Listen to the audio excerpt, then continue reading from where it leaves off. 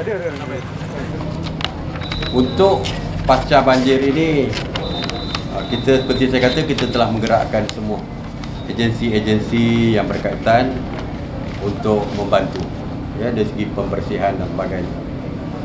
Untuk meringankan beban mangsa banjir TNB TNB Tenaga Nasional Berhad akan memberi rebate 100% secara one off kepada untuk bil elektrik bagi bulan Disember.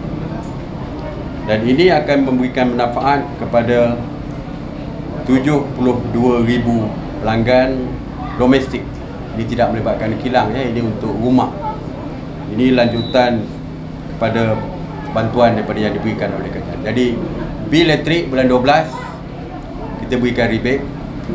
Maknanya saya tak nak kata percuma ya because istilah dia lain. Tapi dari segi yang sebenarnya maknanya dipulangkan balik. Kalau rebate tu di mana dipulangkan balik uh, bil apa nama bayaran bil tu akan dipulangkan balik seolah-olah seperti percuma lah. Okey, saya juga dah minta TNB untuk turut membantu kediaman milik keluarga B40 yang terje, yang terjejas akibat banjir apabila bekalan elektrik disambung semula. Sejak Jumaat lalu, TNB sudah melaksanakan kerja pemeriksaan pendawaian percuma dengan sokongan Pernisma, TEEAM, TNB Energy Services dan kontraktor elektrik bertauliah. Jadi kita tahu apabila rumah dia lama dia berendam di dalam air mungkin banyak kes yang melibatkan kerosakan pendawaian, pelak dan sebagainya dan agak berbahaya. Jadi TNB telah pun memberikan uh, pemeriksaan pendawaian percuma kepada pemilik-pemilik uh, domestik ni rumah sendiri. Jadi kita ucapkan terima kasih kepada TNB kerana kerja-kerja sekelarawan telah pun dilaksanakan di Selangor, Pahang dan juga Kuala Lumpur. Satu lagi yang saya nak umumkan adalah dari segi kereta yang didapati tenggelam di dalam air yang saya percaya perlu diperbaiki.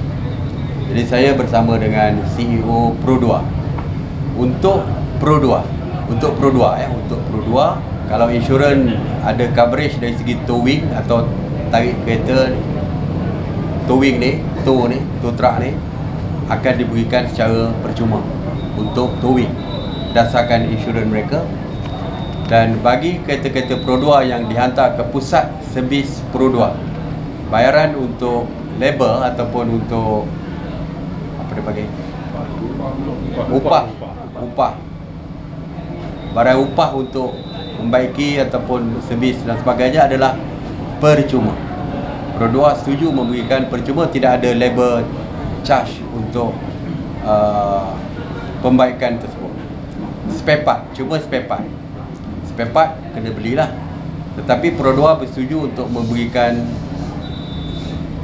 diskaun 50% untuk parts yang digunakan untuk kereta Pro 2 jadi free tak payah bayar dia punya labor dia punya charge upah. Upah tak payah bayar cuma bayar dari segi parts dari segi alat ganti dan diberikan 50% diskaun saya difahamkan Menteri Kewangan akan berunding lagi dengan syarikat-syarikat kereta yang lain seperti Proton dan sebagainya.